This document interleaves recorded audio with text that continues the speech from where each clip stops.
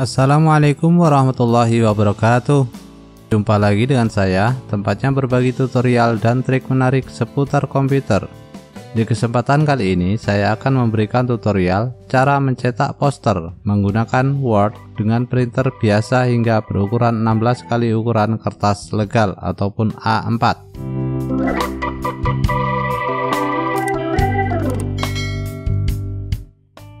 Sebagaimana yang kita ketahui, printer yang banyak digunakan orang adalah printer standar dengan kemampuan mencetak maksimal ukuran legal ataupun A4.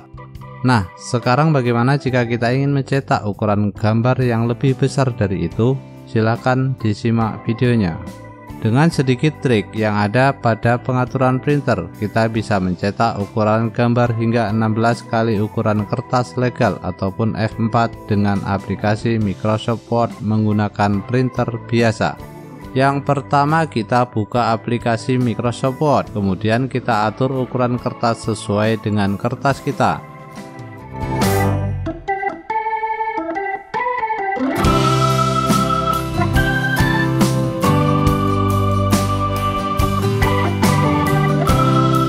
Demikian juga dengan margin halaman.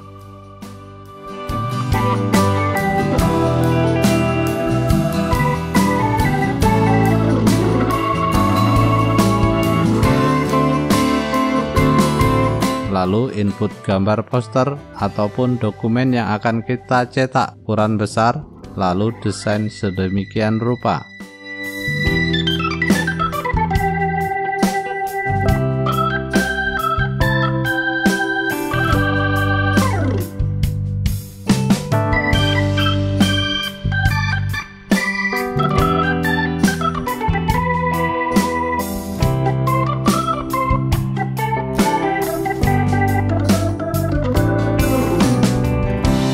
Jika telah selesai desainnya, kita cetak atau dengan menekan tombol Ctrl plus P untuk membuka pengaturan printer. Lalu pilih nama printer yang akan kita gunakan untuk mencetak. Di sini saya hanya menggunakan printer Canon 2770 dan selanjutnya klik Property.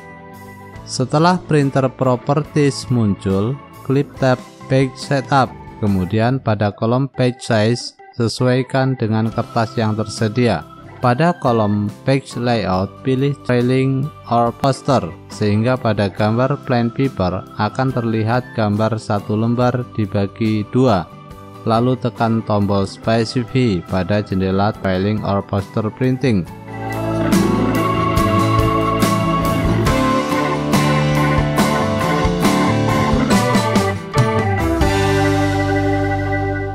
Pilih jumlah kertas sesuai kebutuhan, minimal 2 dan maksimal adalah 16. Di sini saya mencontohkan 16 lembar. Semakin banyak kertas maka semakin besar juga hasil cetakannya. Lalu centang print cut or paste line in margin sebagai panduan kita untuk memotong margin yang menumpang pada sambungan nantinya. Kemudian tandai all pada pilihan print page rank untuk mencetak semua lalu tekan OK dan langsung cetak.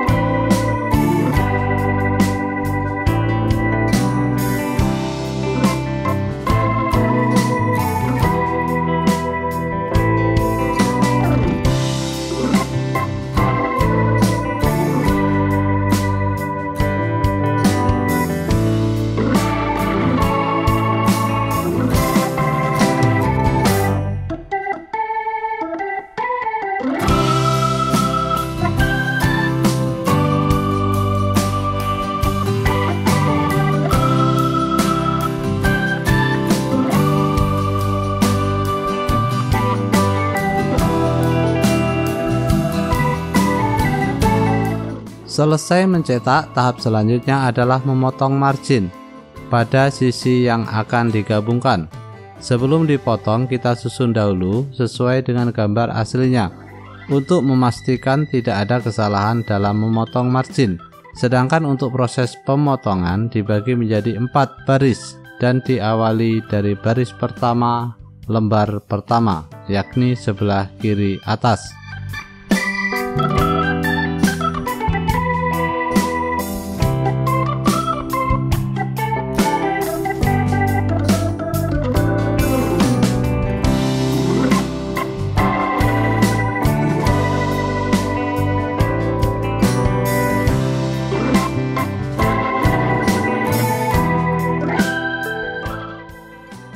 Untuk lembar pertama biarkan utuh, sedangkan lembar kedua hingga keempat kita potong margin sebelah kiri.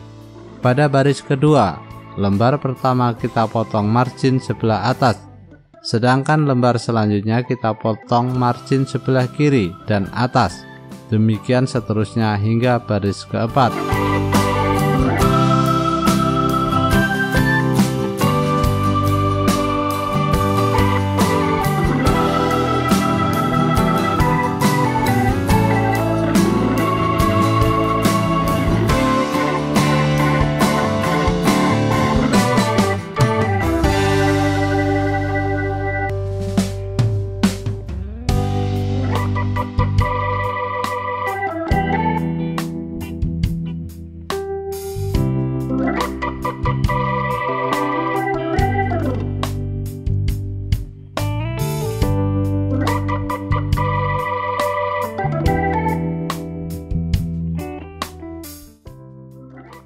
Langkah selanjutnya adalah finishing atau pengeleman untuk menggabungkan setiap gambar tersebut menjadi satu sesuai dengan desain kita.